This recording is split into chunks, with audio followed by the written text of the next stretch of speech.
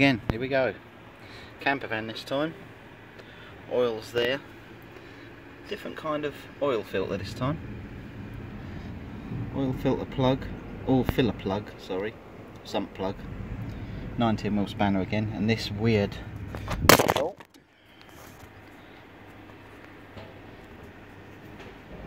Nearly smashed my phone. And this weird contraption for taking off the bottom of the oil filter. So I will get set up and I'll be right back to you. Here is the oil filter housing. So I've got the pan underneath.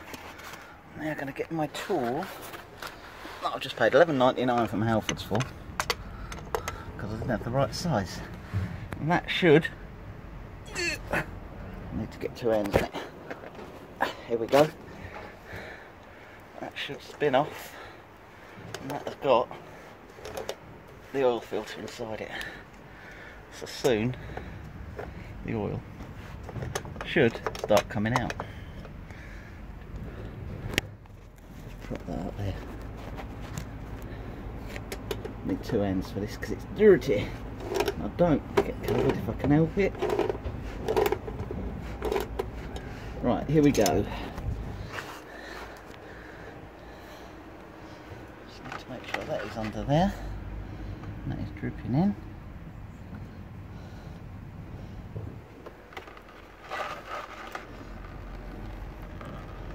Let that oil drain out. So it don't go everywhere, hopefully.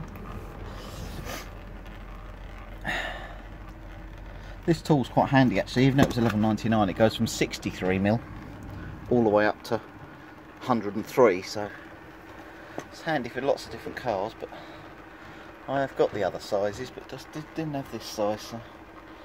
But it's an investment for the future because now I can do this one again, or anyone else's if they need theirs done.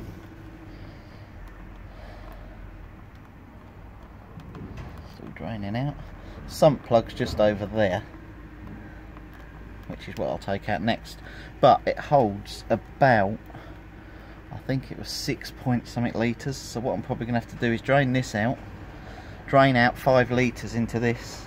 So I don't think 6.5 plus this will uh, all fit in to my one pound washing bowl from pound shop.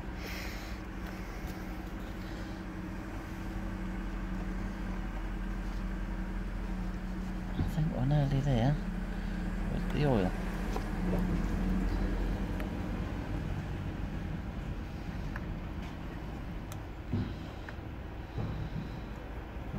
There.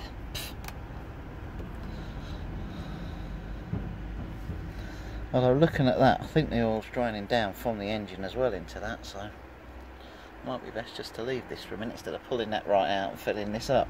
It's very sludgy and black though, so definitely, definitely needed doing. There we go.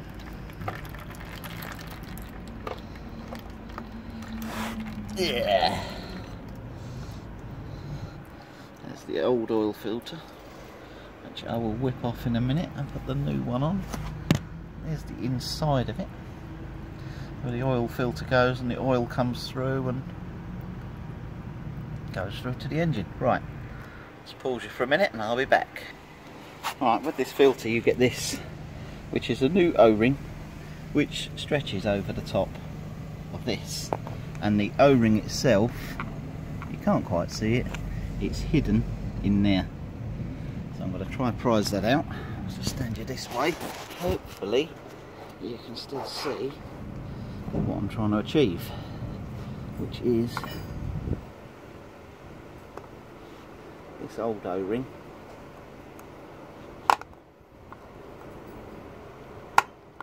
You have to try and hook it out.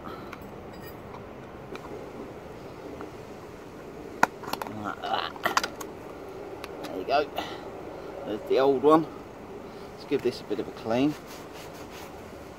It seats properly. Now you just put the other one over the top of this.